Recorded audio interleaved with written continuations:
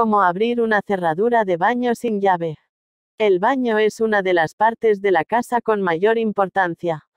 ¿Qué hacemos si no podemos entrar al baño? Es difícil tener esta respuesta. Buscarle solución al hecho de haber perdido las llaves debe ser una de tus prioridades en caso de que esto te haya pasado. Existen métodos con los que puedas abrir una cerradura de baño sin llave que dañaran el mecanismo de la misma por completo y luego debas suplantar por otra, así como existen métodos que se preocuparán porque puedas abrir la cerradura y mantener la misma en buen estado. ¿Qué debemos hacer si nos encontramos con una cerradura del baño sin llave? Perder las llaves no es tarea fácil, y aún más si es un baño que no es el de tu casa. Saliste del baño de la casa de tu amigo pero no recordabas que habías dejado el seguro pasado, más tarde alguien más intenta ir al baño y rayos. La cerradura no abre y nadie de la casa recuerda dónde han dejado la copia de la llave. Y ahora, debes buscar una solución. Método 1. Espátula de apertura. La espátula de apertura es una herramienta de uso profesional que es especial para cerraduras que cierran hacia adentro. Su uso es muy parecido al de tarjetas de plástico o de placas de rayos X pero con una facilidad que es que esta herramienta es especializada para cerraduras. Su objetivo es maniobrar el resbalón hasta empujarlo y lograr abrir la cerradura sin ocasionar daños en el mecanismo. Herramientas. Una espátula de apertura.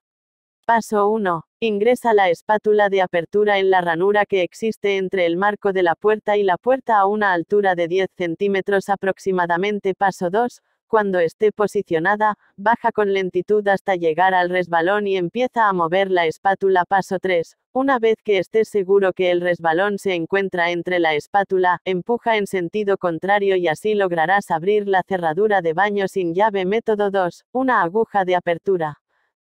Las agujas de apertura son especiales para abrir cerraduras maniobrando directamente el resbalón, de esta manera evitas que intentando jugar con el mecanismo interno puedas dañar la cerradura.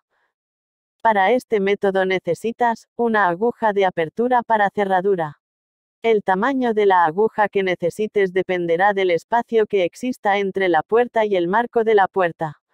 Mientras más pequeño sea el espacio, más pequeña debe ser la aguja de apertura. Paso 1. Ingresa la aguja de apertura entre el marco de la puerta y la puerta a una altura de 30 centímetros por encima de la cerradura. Paso 2. Cuando la aguja esté posicionada, baja lentamente hasta llegar al resbalón.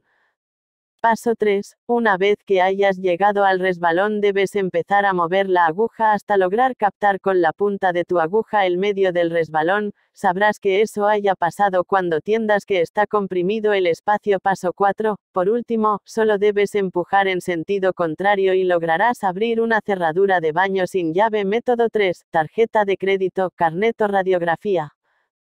Si en tu casa no tienes herramientas que sean especiales para cerraduras, puedes recurrir a medidas de emergencia. Puedes utilizar herramientas que puedas conseguir en casa y dominar tus destrezas para poder resolver un problema como perder las llaves de la cerradura de tu baño. Instrumentos. 2 tarjeta de crédito, carnet o radiografía.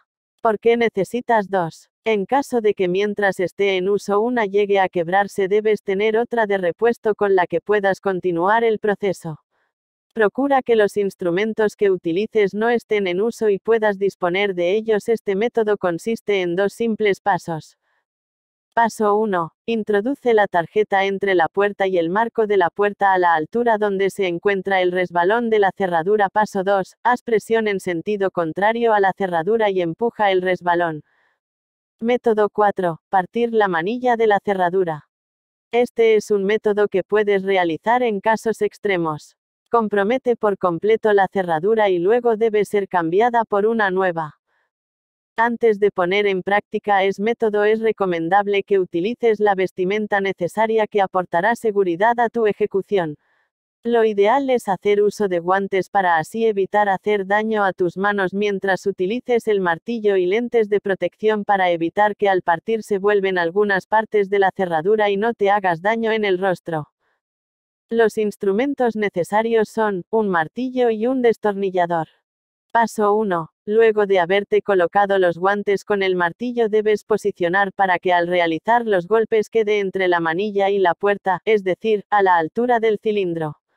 Paso 2. Luego de realizar golpes repetidamente es objetivo es tumbar la manilla por completo y romper el cilindro. Una vez que esto pase, podrás maniobrar la cerradura desde adentro con el destornillador para poder abrirla.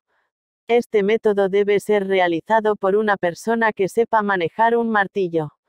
Al ser utilizada mucha fuerza es de importancia el correcto posicionamiento de los pies y piernas para evitar lesiones. No estar aglomerado de personas también es un punto clave, tal vez te preocupas principalmente por no hacerte daño a ti mismo, pero si tienes personas a tu alrededor, todos deben mantenerse protegidos. Entre estos métodos existen formas convencionales y no convencionales de abrir cerraduras. Pero no existe mejor opción que abrir una cerradura con su llave original. En caso de que te veas en necesidad de recurrir a métodos emergencia, es importante la seguridad propia. Encuentra una forma de tener en resguardo al menos dos copias guardados en espacios distintos a los que puedas recurrir una vez que una emergencias como esta se presenten y luego tengas que verte en necesidad de abrir una cerradura de baño sin llave.